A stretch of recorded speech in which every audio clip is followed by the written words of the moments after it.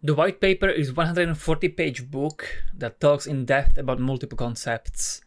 LUKSO believes in overcoming boundaries between physical and digital worlds. Three key principles in LUKSO are identification, virtualization, and tokenization. Identification stands for giving everyone and everything a unique identity. Transparency and control, it's not a bad thing, right? Like right now, all of these systems are happening without we necessarily knowing what is going on. I agree with you. Um, yeah. And we have very little insight. So I think it's better we all have certain level of access to our own data and everybody has the same. Like if everybody's naked, you might not feel uncomfortable being naked.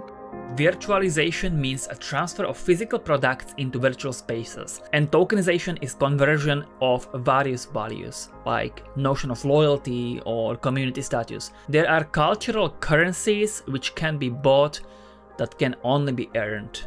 For example, reputation tokens, where trust has to be earned fairly because they're not given away cheaply. The future of blockchain is social there's this whole notion of, hey, here, one blockchain to rule them all. And I guess there's probably some people believe Bitcoin is that thing. But actually, each blockchain is more like a country, and you attract a certain community to your network that builds then within this country things that are related to them. So culture and community is the main reason why we started LUKSO.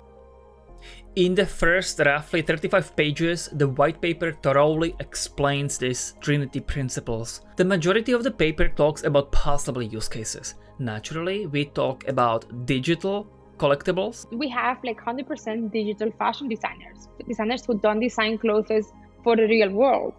Um, you know, right now there's a few places where you can take them. You could take into Sansar and like uh, VR chat and stuff. Yes. You can't really take it into any of the major games because they have like these closed silos.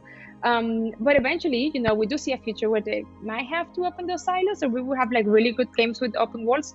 So you will be able to take those assets everywhere. Or, or even physical collectibles. They are tied to provenance use case, which is immutable record of transparency. In simple terms, a Rembrandt painting having universal profile on LUKSO will have records of all exhibitions or private collections it attended. Your question might be, how can a physical art have a universal blockchain profile? It's done through uh, attaching RFID chips to physical goods and linking it to blockchain through it.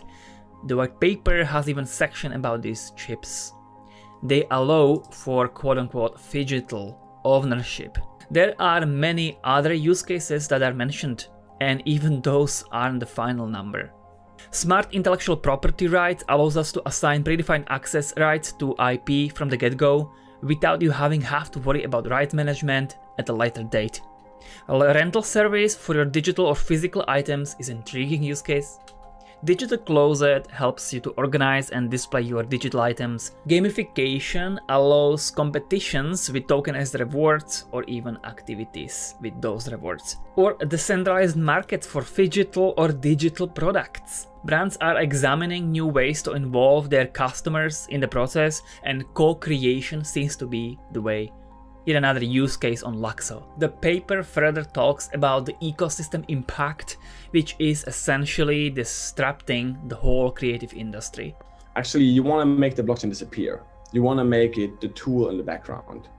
And that really brings user adoption because it doesn't scare away people and thinking that, oh my God, if I do something wrong, everything is gone. Um, and uh, I think like we see a new kind of user coming in, and I think it will move very strongly towards NFTs and to non-financial use cases. Sure, there are technical pages about tried and tested factors such as being 100% EVM interoperable, or immutable or secure and resilient. Also scalability of the network being sufficient given the target sector. Consensus is mentioned and the white paper mentions delegated proof of stake that the LUKSO network is meant to start with and then transition to the proof of stake but more recent information suggests that the LUKSO will not start with the delegated proof of stake, but a Casper, which is a novel proof of stake consensus. Also sharding is briefly mentioned which will be present on LUKSO,